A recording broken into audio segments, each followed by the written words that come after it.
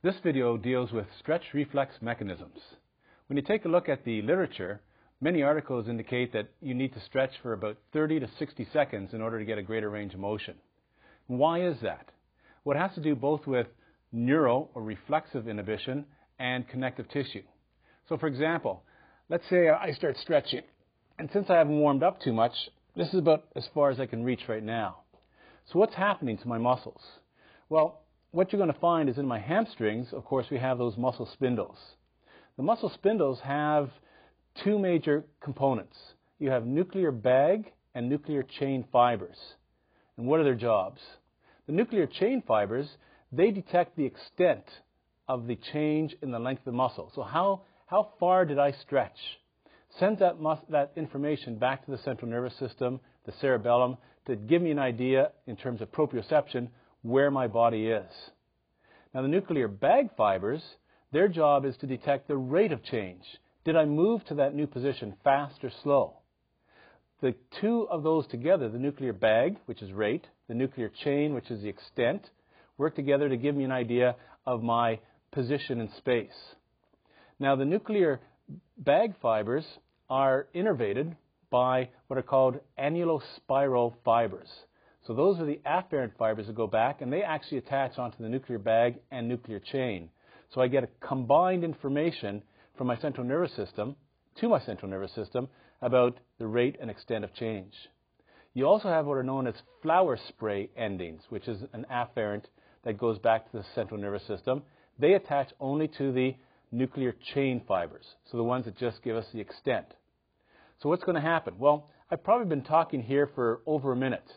And when I first went and did the stretch, of course, the nuclear chain fibers turned on to tell me how far I stretched, and the nuclear bag fibers turned on to tell me how fast I stretched. But I haven't moved in over a minute. So the nuclear bag fibers sense that since there's no movement, they're going to turn off.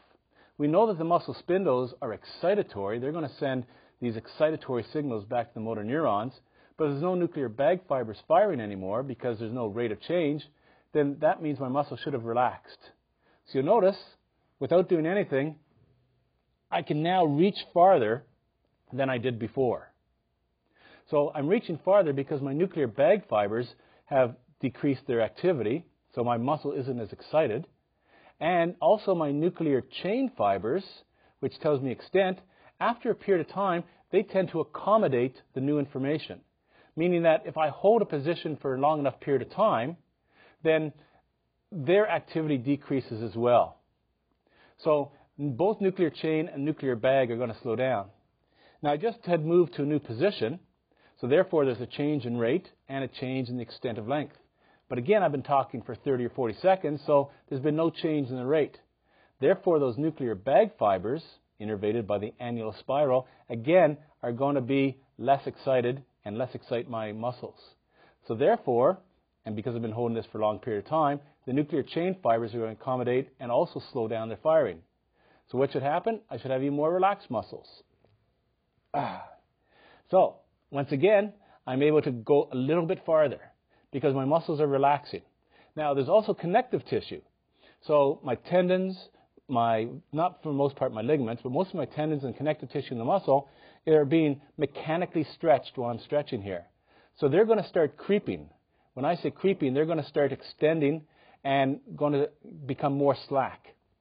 So the combination of the mechanical slackness of the connective tissue that I'm working on and this reflex action, nuclear bag, rate of change, nuclear chain, extended change, and their decreased activity allows me ah, to go even farther. So that's why the research says it's better to do extended range of motion changes, 30 to 60 seconds, because you're working on inhibiting those reflexes. Short uh, stretching durations of 6 or 8 or 10 seconds won't do as good a job. Now we know from the literature that extended stretching durations will also impair performance. But what we're talking about here is that we just want to look at improving range of motion. So you would not be doing 30 to 60 second stretches before you go out on the basketball court or play hockey or lift weights. You'll be doing short duration stretches so you don't impair performance. If you want to improve your range of motion, then you want increased range of motion, you want longer stretching durations. So, in summary, nuclear bag fibers, rate of change. Nuclear chain fibers, extended change. Hold it for a long period of time, nuclear bag tended to uh, decrease their activity first, and even nuclear chain decreases their activity to greater extent. Muscle relaxes, you can reach farther. Connective tissue, you're pulling it apart, just like an elastic. You take an elastic and you pull it apart enough, and it won't be as elastic as it was before because of the creep, and allows you to have a greater range of motion.